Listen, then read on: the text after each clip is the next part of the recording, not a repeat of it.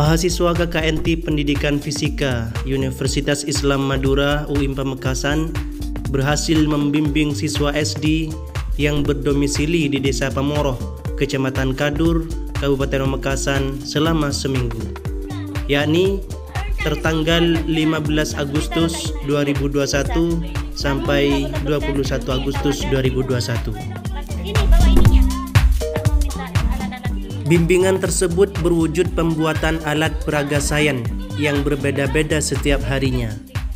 Kegiatan ini dilaksanakan di salah satu rumah warga sekitar yang tidak jauh dari lokasi sekolah Sekolah Dasar Negeri atau SDN Pamoroh II.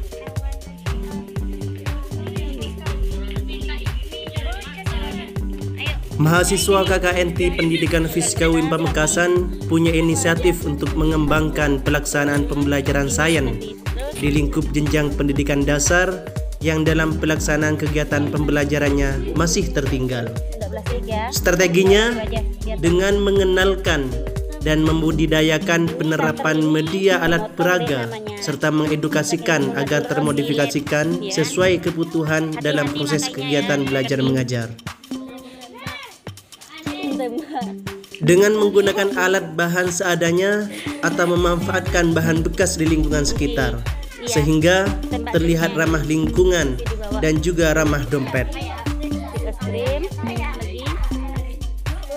Kami selama seminggu melaksanakan bimbingan pembuatan alat peraga sains pada siswa SD di Pamoro dengan penuh bahagia.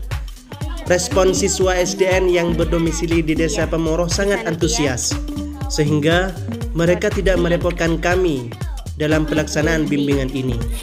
Ungkap Inayatun Diraya selaku Ketua Kelompok Mahasiswa KKNT Pendidikan Fisika UIM Pamekasan. Menurutnya, alat peraga dalam pendidikan sangat penting dalam membantu kelancaran pembelajaran. Apalagi sains yang memang siswa butuh terlibat dan mengamati secara langsung dengan peristiwa-peristiwa yang terjadi di alam. Sehingga tidak ada lagi kata bahwa siswa merasa bosan dan malas untuk belajar sains.